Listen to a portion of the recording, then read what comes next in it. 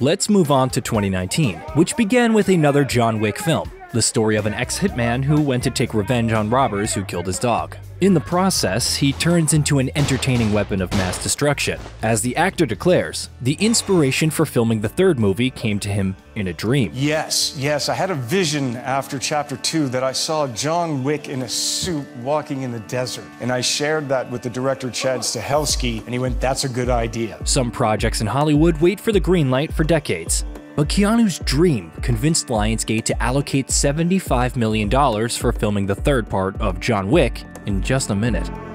I'd never been to the Sahara, but to go there, what a magical, amazing, profound place. The script was entrusted to the irreplaceable author, Derek Kolstad, who created a fantastic world of killers, hotels, and gold coins. Derek did not limit himself to the scene in the desert and expanded the number of locations to an unprecedented scale. Wick seems to have made it his goal to whack someone in every corner of the world in this installment.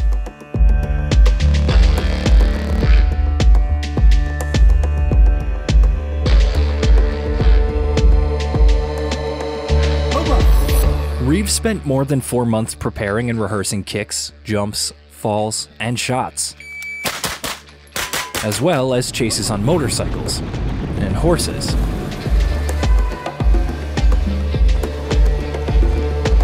Chad Stahelski has been working with Keanu since the first Matrix, so he's always looking for new challenges for the actor. And that was, uh, next level. But Halle Berry, who played Sophia, a cold-blooded hitman, John's friend, and avid dog lover, noted that she never trained so much for a role, during the course, the actress even broke three ribs. I broke three ribs. What? Film uh, when I was rehearsing for John Wick. Chad hates when I bring this up. I, I thought I was going to get recast in that very moment. I thought, fuck. No. I'm out of the movie. They're going to replace me because, you know, the show has to go on. But to Chad's credit, he he waited for me. The experience of using a weapon and interacting with four-legged actors was also new for Halle. She started training courses half a year before the filming began. Dog trainer Andrew Simpson, who previously taught dire wolves for Game of Thrones, helped her tame the beasts. According to the plot, Sophia definitely manages two Belgian Malinois. Yes, yes, I was also sure that they were German Shepherds, but no. This is a separate breed usually used for police service. We see only two dogs in the frame, but on the set, they had to deal with five Malinois at once. While Halle Berry was cuddling with the doggies, Jerome Flynn prepared his groin area for them. Yeah, that's gonna be a new experience for me. Fortunately, Malinois are very trainable and chose not to method act in this scene. Fantastic. And John's new dog became the crew's favorite pet on the set, maybe because his brutal attack looked like this. Is that the dog? He likes you. Oh, me? I'm more of a cat person myself. Mark Dacascos played a cat person, a skilled cook, and deadly hitman Zero. His character deceives expectation by turning bloody battles into funny sketches. Mark learned about his part's significance only a few days before the shooting began, so he built the image on personal traits. For example, the fact that Zero is fanatical about John directly refers to Mark's confession that he is fascinated by Reeves' talent.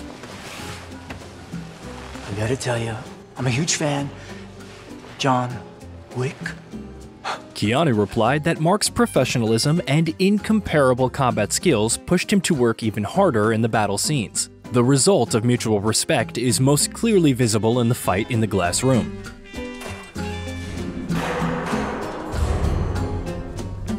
Keanu and Mark filmed in it for more than a month. The construction of such an extravagant location cost $4 million. Chad Stahelski designed this scene without CGI. This forced cinematographers and stunt directors to think through every shot and every camera angle in detail, which added complexity to the already incredibly tangled fight choreography.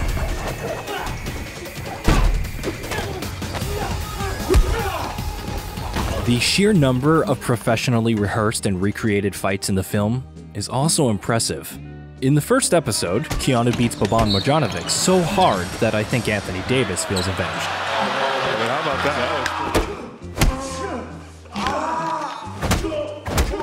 The scene is fascinating. but it turns out to be only a prologue to the episode in the weapons workshop. Fleeing from the pursuit, John stumbles upon a showcase of old revolvers from the 19th century and assembles the one and only. This scene references the movie The Good, the Bad, and the Ugly, where Eli Wallach's character assembles a revolver to his taste from many others.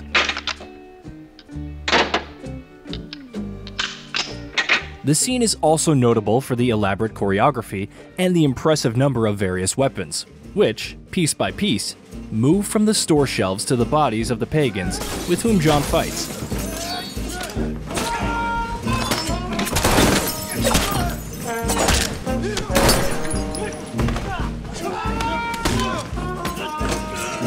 Connoisseurs will not be indifferent to the variety of objects flying back.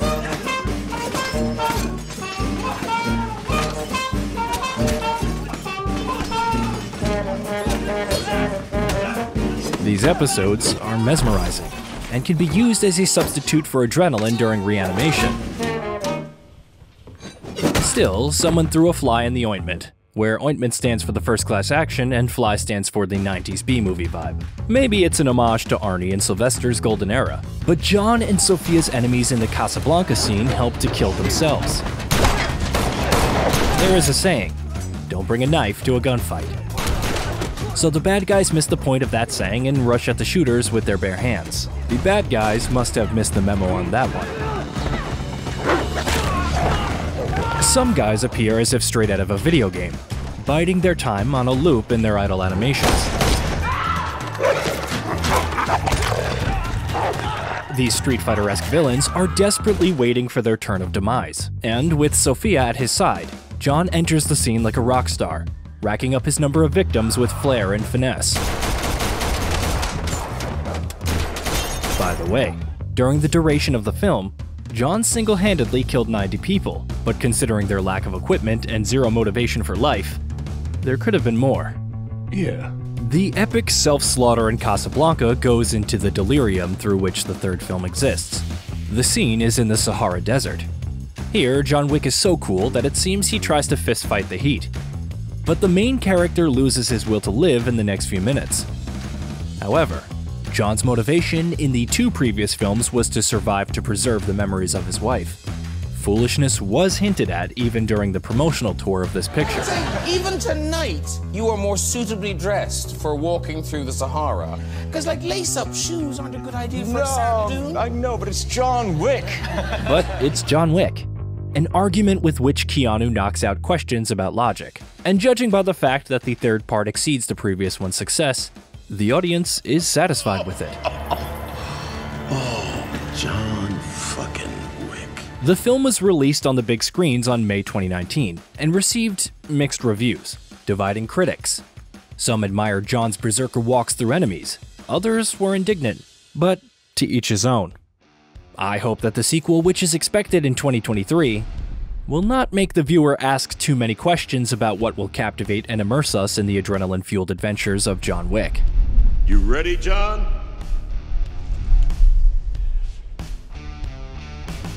Yeah.